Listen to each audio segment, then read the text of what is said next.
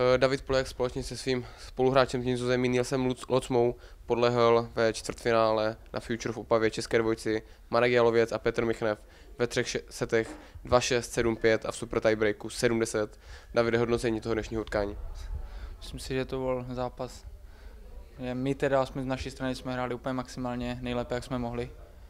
A nevyšlo to v super tiebreaku. Uh, úvodní sada 2-6, tam vás soupeři přehráli skoro ve všem, byli excelentní na síti.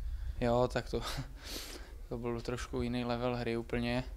My jsme nehráli přitom špatně, ale nešlo nic dělat a jsme se z toho nějak oklepali a začali jsme mi hrát jako dobře.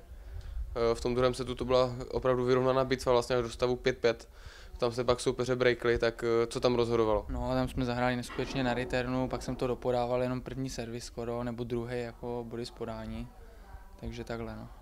Uh, super tiebreak to je trochu loterie, tam je trochu škoda, že vám nevyšel ten začátek, tam jste klidně mohli mít vedení 4-0 a nikdo by se nedivil. No, bohužel no, nevyšel no. Uh, kdybyste ten začátek mohl tro- trochu popsat, co tam bylo špatně. Já nevím, jako to bylo prostě přestřelky a nějak to vždycky dopadlo. Akorát Niels tam jeden lehký volej zkazil a, a já jsem tam nějak nezahrál odvážně v jednu chvíli, kdy jsem mohl a tak. Uh, soupeři dnes ale hráli opravdu dobře, takže s vaším výkonem panuje spokojenost. Jako spokojenost po hře těžko, ale byl to dobrý zápas. Uh, jste domluveni s Nilsem i na další turnaje, nebo už máte jiného parťáka? Jo, v těch Milovicích ho hrajem, no. Tak jo, Davide, díky za rozhovor a hodně štěstí na dalších turnajích. Jo, díky.